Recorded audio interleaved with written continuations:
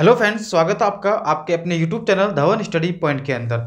और दोस्तों, जैसा कि आपको पता है, आपका S S C G L दो हज़ार अट्ठारह का जो था पेपर था, वो तो प्री मेंस टायर थ्री आपका सबका हो चुका है और उसका अभी डी बाकी है। लेकिन जिन्होंने भी दो हज़ार उन्नीस का फॉर्म भरा था और प्री एग्ज़ाम दिया था तो उनका मेंस का एग्ज़ाम भी आपका होना है पंद्रह नवंबर को, ठीक है? और उसके कुछ दिन बाद ही आपका टायर थ्री एग्ज़ाम है, ठीक है? तो टायर थ्री के लिए जो आपको प्रिपरेशन करवा रहा हूँ फ्री ऑफ़ कॉस्ट तो आप लोग चाहो तो इस वीडियो को शेयर कर सकते हो ताकि जो स्टूडेंट जिनको इसकी नीड है, वो इसको, इसका लाभ उठा सके।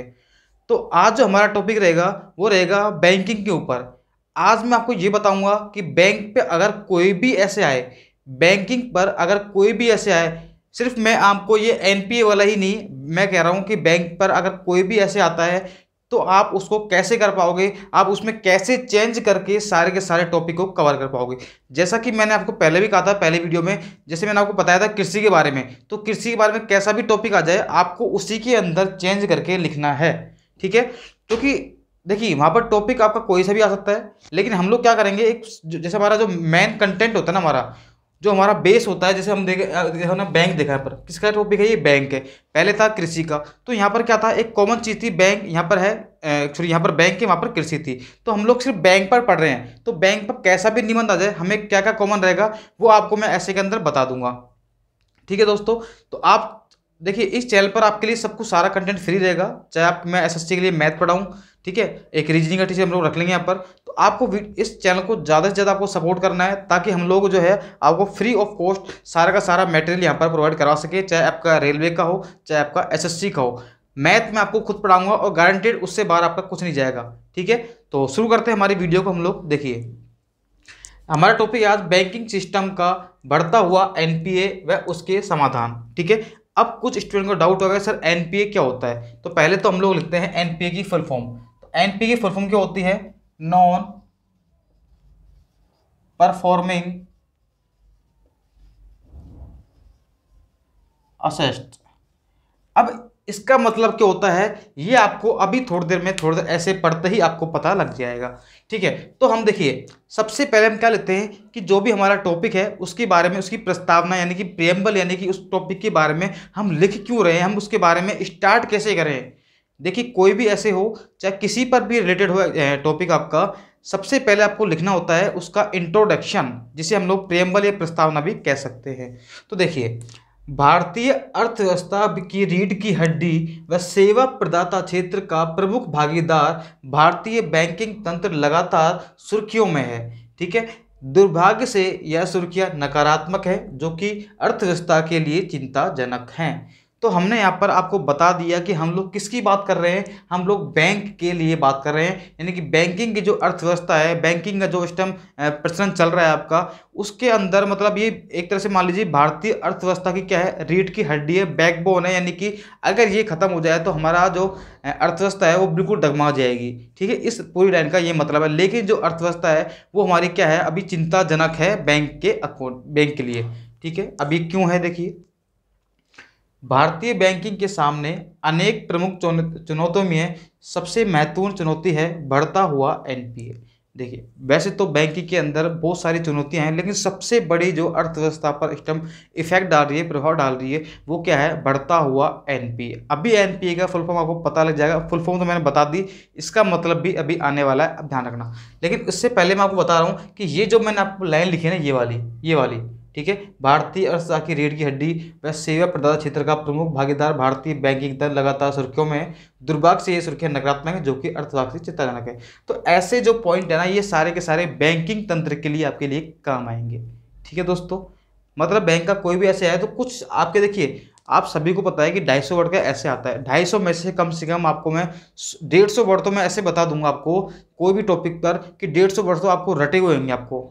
कैसे? एक तो उसकी प्रस्तावना, उसकी कमियाँ, उसके लाभ और लास्ट में जो हम लोग निष्कर्ष निकालते हैं, ये लगभग हर ऐसे में।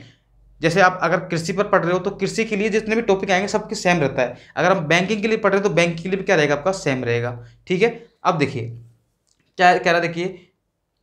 हाँ ये तो हो गया। तो बैंकिंग तंत्र में एनपीए का तात्पर्य क्या है? देखिए, अब बैंकिंग हम जो एन पूछ रहे थे आप लोग एनपीए क्या होता है? तो एनपीए देखिए क्या होता है। तात्पर्य उस धनराशि से है, जिस पर नब्बे दिन का, नब्बे दिन तक मूलधन एवं ब्याज की धनराशि जो है, बैंक को पुनः प्राप्त नहीं होती है। क्या आप लोगों को समझ में आया क्या? यानी कि हम जो किसी कैंडिडेट्स को हम लोग उधार देते हैं, अगर हमारे पास नब्बे दिन तक उसका मूलधन और ब्याज हमारे पास नहीं आता है तो वो क्या होता है, वो जो पैसा होता है आपका, वो एनपीए के अंदर क्या हो जाता है कंसिडर हो जाता है, ठीक है? यानी कि नॉन परफॉर्मिंग असेट्स के रूप में क्या होता है कंसिडर हो जाता है, ठीक है? तो इससे क्या होता है बैंक को लॉस होता है। आपको सभी को पता है, अगर एग्ज़ाम्पल देखें तो हमारे जो विजय माल्या जी हैं, ठीक है? नीरव मोदी जी हैं, जो मतलब आप सभी को पता है, ग्यारह सौ करोड़, ग्यारह हज़ार करोड़ इतने रुपए लेके भाग चुके हैं, ठीक है? तो ये सब में किसमें आएगा? ये सारा का सारा जाएगा आपका एनपीए के अंदर। क्योंकि वो हमारा पैसा जो है, वो विदेश लेके भाग चुके हैं। अब वो एन के अंदर आ चुका है। तो ये एन क्या है? इस टाइम बहुत चिंताजनक है भारतीय अर्थव्यवस्था के लिए, क्योंकि इतना सारा पैसा अगर बाहर जाएगा मतलब लेके जाएँगे तो फिर बैंक की अर्थव्यवस्था जो है, हमारी रीढ़ की हड्डी है, उसमें क्या होगा? नुकसान होगा। ये आपको मैंने समझा दिया है। ठीक है? अब देखिए आगे। एनपीए को सामान्यतः स्टैंडर्ड, डाउटफुल एवं लॉस असिस्ट में वर्गीकृत किया जाता है। देखिए एनपीए को जो हम लोग तीन भागों में डिवाइड कर सकते हैं, ठीक है? ये आपको रट लेना है, ताकि उस एग्जामिनर को लगे कि हाँ बंदे को उसके बारे में थोड़ी सी नॉलेज है। और जब भी आप लोग इसको लिखो तो पेंसिल से आप लोग, ठीक है? पेंसिल से आप लोग हल्का हल्का इसको क्या कर दिया करो? इसको अंडरलाइन कर दिया करो पेंसिल से करना आपको। जैसे एक तो ये वाली लाइन थी आपकी, ठीक है? ताकि इसको पता लगे कि है क्या ये, है ना? डोट डोट करके ऐसे कुछ आप लोग उसमें लिख दिया करो, ठीक है? उसके बाद आपने लिखा है स्टैंडर्ड्स इस पर आप लोग डाउटफुल और लॉस असेस्ट ऐसे आप लोग क्या कर दियो उसको हल्का फुल्का लाइन से आप लोग क्या कर दियो अंडरलाइन कर दिया करो। पेंसिल से करना है पेन से बिल्कुल नहीं करना है, ठीक है? अब देखिए आगे। एक मिनट रुकिए आप लोग वेट ठीक है? तो देखिए, हम कहाँ पर थे?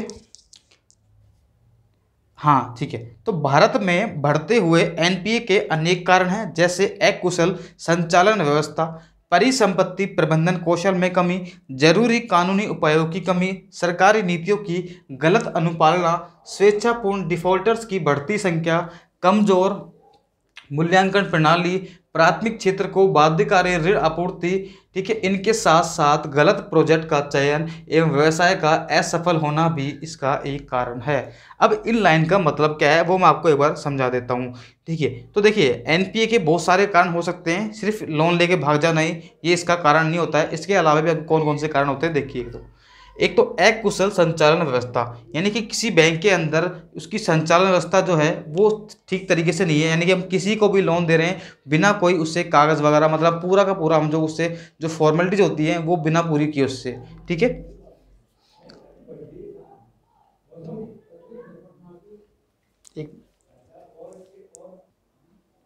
ठीक है तो देखिए तो आगे क्या है? परिसंपत्ति प्रबंधन कौशल में कमी ज़रूरी कानी उपाय कानूनी उपायों की कमी, यानी कि हमारे जो कानून है, उसके अंदर क्या है, थोड़ी बहुत क्या होगी, कमी होगी, उसके बारे में, ठीक है? सरकारी नीतियों की गलत अनुपालना, यानी हमारी जो सरकार की जो नीतियाँ होती हैं, उसका क्या करते हैं लोग, गलत उसका यूज़ रहते हैं ठीक है? जैसे सरकार ने कहा कि हम सभी का लोन माफ़ करेंगे तो वो लोग उसका गलत फ़ायदा भी उठाते हैं गलत कागज़ बनाकर, ठीक है? स्वेच्छापूर्ण डिफ़ॉल्टर्स की बढ़ती संख्या, यानी कि हमारे जो डिफ़ॉल्टर्स हैं, यानी कि वो लोन ले लेते हैं लेकिन चुका नहीं पाते तो वो क्या होते हैं? डिफ़ॉल्टर्स होते हैं, उनकी बढ़ती संख्या। कमज़ोर मूल्यांकन प्रणाली, यानी कि जब हम उसको लोन देते हैं तो हम उससे कागज़ वगैरह कुछ लेते हैं तो हम उसको सही से चेक नहीं करते भाई, ये लोन लोन जो है, इसकी सैलरी कितनी है, ये चुका पाएगा या नहीं चुका पाएगा? तो ऐसी क्या है हमारी कमज़ोर मूल्यांकन प्रणाली प्राथमिक क्षेत्र को बाध्यकारी ऋण आपूर्ति, यानी कि हमारा जो प्राथमिक क्षेत्र नहीं, किसी क्षेत्र जो है उसको हम देते हैं, ज़बरदस्ती क्या देते हैं लोन भाई तुम लोन लो और जो पैसा आएगा बाद में चुका देना। ऐसे हम क्या करते हैं, इसको बाध्यकारी लोन देते हैं, ठीक है? उसके बाद में इन सब के साथ साथ गलत प्रोजेक्ट का चयन एवं व्यवसाय का असफल होना भी इसका एक कारण है, ठीक है? आगे देखिए, बढ़ते हुए एनपीएस से बैंकों में पूंजी की कमी के कारण ब्याज दरों में वृद्धि एवं साख की अनुपालना होने से व्यापार, वाणिज्य, उद्योग चौपट होता तो है ही। साथ में होता है, यहाँ पर क्या आएगा, कौम आएगा। साथ ही प्रयोजन, साथ ही परियोजना संचालन के लिए आर्थिक कठिनाई भी महसूस होती है। इसका मतलब क्या है? देखिए, बढ़ते हुए एनपी से बैंकों में क्या होता है? देखिए जैसे विजय माल्या नीरव मोदी, ये पैसे लेके भाग गए। तो बैंक में क्या होगी? पैसे की कमी आएगी, यानी कि आर्थिक स्थिति क्या हो जाएगी? हमारी कमज़ोर हो जाएगी बैंकिंग की, ठीक है? क्योंकि इतना बड़ा अमाउंट अगर कोई लेके जाएगा तो उससे क्या होगा? अब जो उसके पैसे होंगे तो वो अपना पैसा जो है, वापस लेने के लिए क्या करेगा? जो बैंक की जो रेट है, उसको बढ़ाएगा, ताकि वो पैसा और एक्स्ट्रा ले सके, ठीक है? और साख की अनुपालना होने से व्यापार वाणिज्य, यानी कि जब उसकी, देखिए, अगर उसका कोई पैसे लेकर चला गया तो वो क्या करेगा? अधिक ऋण लेगा उससे तो उसकी जो क्या आपस में क्या होती है, साख भी इससे क्या होती है, ख़राब होती है कि इस बैंक से तो लोन लेके चले जाते हैं, वापस भी नहीं आता है और ये हमसे ब्याज भी एक्स्ट्रा ले रहा है, ठीक है? तो क्या उससे क्या होता है, हमारे वाणिज्य उद्योग क्या होते हैं, चौपट होते हैं, साथ ही प्रयोजन संचालन के लिए आर्थिक कठिनाई भी महसूस होती है, एवं धीरे धीरे बैंकिंग तंत्र जो है वो खराब वित्तीय स्थिति में आ जाता है, इससे क्या होता है, हमारा जो बैंक है, बिल्कुल धीरे धीरे एक खराब स्थिति में क्या होता है, चला जाता है। इसे रोकने के लिए आरबीआई को अधिक से अधिक स्वायत्त बनाकर उसके कार्य क्षेत्र में वृद्धि करने से एनपीए समस्या के समाधान में एक विस्तृत रोड मैप तैयार करके एनपीए को श्रेणीवार विभाजित करना चाहिए एवं उचित कानून एवं मूल्यांकन प्रणाली द्वारा इसके समाधान के गहन प्रयास करने चाहिए, जिससे समावेशी बैंकिंग का सहारा लेकर सुदृढ़ बैंकिंग तंत्र के साथ आर्थिक पुनर्निर्माण के कार्य को आगे बढ़ाया जा सकता है। देखिए अब जैसे मैंने इस एस में आपको करवाया, ठीक है? अब देखिए, इस ऐसे में लिखने में मुझे बहुत टाइम लगता है, फिर पूरा बोर्ड पे उतारता हूँ, बहुत मेहनत करता हूँ आपके लिए। तो आपका तो सिर्फ़ इतना ही काम है कि आप इसको ज़्यादा से ज़्यादा आप लोग शेयर किया करो, ठीक है? मेरा भी एक कॉन्फिडेंस जो है वो बढ़ता है जब आप लोग इसको आगे शेयर करते हो। मुझे भी लगता है कि मैं मेहनत कर रहा हूँ तो मेरे स्टूडेंट जो है इसको आगे शेयर करते हैं और ज़्यादा से ज़्यादा इसका लाभ उठा रहे हैं, ठीक है? अब मैं आपको ये सिखा रहा हूँ, जैसे देखिए, जैसे इसकी प्रस्तावना हो गई, ठीक है? ये तो ये ये वाला जो डेटा होता है ना, जब भी नया ऐसा आएगा ना तो सिर्फ़ आपका ये वाला डेटा चेंज होता है। लेकिन इसके अंदर भी जैसे आपकी जो कमियाँ थी, ठीक है, जैसे अकुशल संचालन व्यवस्था, परिसंपत्ति प्रबंधन, कौशल में कमी, ज़रूरी कानी उपायों कमी, सरकारी नीतियों की गलत बढ़ना स्वेच्छापूर्ण डिफॉल्टर की बढ़ती संख्या मतलब ऐसी जो कमियाँ हैं, कमियाँ फिर इसके जो अगर कोई किसी के अंदर प्रॉफिट हो रहा है या फिर प्रॉफिट हुआ, जैसे किसी योजना होती है तो उसकी कमी भी होती है, उसकी कुछ अच्छाई भी होती है तो कमी हुई, अच्छाई हुई तो ये सारे के सारे ऐसे में क्या होती हैं, आपके कॉमन होती है। तो मैं आपसे यही कह रहा हूँ कि ढाई सौ वर्ड में से डेढ़ सौ वर्ड तो आपके ऐसे होने चाहिए जो आपको रटे होने चाहिए वर्ड टू वर्ड आपको, ताकि आपको सोचना वहाँ पर कम पड़े, क्योंकि टाइम आपका एक घंटे होता है, आधे घंटे में ऐसे, आधे घंटे में लेटर होता है आपका। तो आपको कम से कम डेढ़ सौ वर्ड तो ऐसे रट के जाने वहाँ पर अगर आप ऐसे बिल्कुल बिना प्रिपरेशन होकर जाओगे ना, आपका पेन भी नहीं चलेगा। आप सोचते रहोगे और आपको सोचने में इतना टाइम लग जाएगा, आपको पता भी नहीं पड़ेगा आपका एक घंटा कब निकल जाएगा। इसलिए कम से कम डेढ़ सौ वर्ड तो आप ऐसे तैयार करके जाओ, ताकि आपको सिर्फ़ जैसे हम टॉपिक आया कृषि का तो आप लिखने लगे तुरंत ही। फिर आपका जो मेन टॉपिक है, उसके बारे में आपको लिखना पड़ेगा सिर्फ़ और सिर्फ़। बाकी आपका पूरा पूरा माइंड में रहेगा, ठीक है? फिर हमने क्या करा, जैसे इसके बारे में इसका अभी इसके बारे में अगर समस्या है तो इसका समाधान भी होगा। तो समाधान भी आपके सेम ही होते हैं। समस्या और समाधान अगर किसी टॉपिक से बैंकिंग से रिलेटेड है तो समस्या और समाधान लगभग लगभग क्या होते हैं? सेम होते हैं। जैसे देखिए, इसे रोकने के लिए आरबीआई को अधिक स्वायत्त बनाकर उसके कार्य क्षेत्र में वृद्धि करने से एनपी की समस्या के समाधान से विस्तृत रोड में तैयार करके एनपीए को श्रेणीवार करना चाहिए। उचित कानून, मूल्यांकन प्रणाली, इसके समाधान के गहन प्रयास करने चाहिए। बताइए, जैसे इसमें था ना ये? उचित कानून, मूल्यांकन प्रणाली, ठीक है? और शिक्षा का प्रचार प्रसार करके बैंक की प्रणाली में बताना एन पी के बारे में लोगों को समझाना मतलब ऐसे काफ़ी सारे जो पॉइंट है वो आपको बिल्कुल एज इट इज़ आपको याद रखने हैं, ठीक है? इसके लिए मैं आपको एक वीडियो अलग से बना दूँगा कि आपको कौन कौन से जो पॉइंट है वो आपको कैसे कैसे आपको रट के जाने हैं। एक तो आपको प्रस्तावना हो गई कमियाँ हो गई, उसके लाभ है तो लाभ लिखेंगे और एक पूरा उसका जो सार होता है जैसे किसी चीज़ कमी होती है तो उसको कैसे पूरा करें, उसको कैसे सही करें? ये जो ये जो होता है आपका, ये क्या होता है, आपका कॉमन होता है सभी ऐसे के अंदर, ठीक है? तो ऐसे आपको हमेशा आपको डेढ़ सौ वर्ड तो आपको ऐसे रटके लेके जाने हैं, किसी भी टॉपिक के, जो आपको वहाँ पर सोचने नहीं पड़े, आपका टाइम वेस्ट नहीं हो, ठीक है दोस्तों? ये आज हमारा ऐसे था और आई होप आपको ये पसंद आया होगा। अगर पसंद आया तो प्लीज़ वीडियो को लाइक कर देना शेयर कर देना और चैनल को आप लोग सब्सक्राइब ज़रूर कर देना। ताकि जितने लोग जुड़ेंगे, उतना ही मुझे पढ़ाने में मज़ा आएगा। ठीक है दोस्तों तो मिलते हैं अगली वीडियो में, जब तक के लिए bye bye okay thanks for watching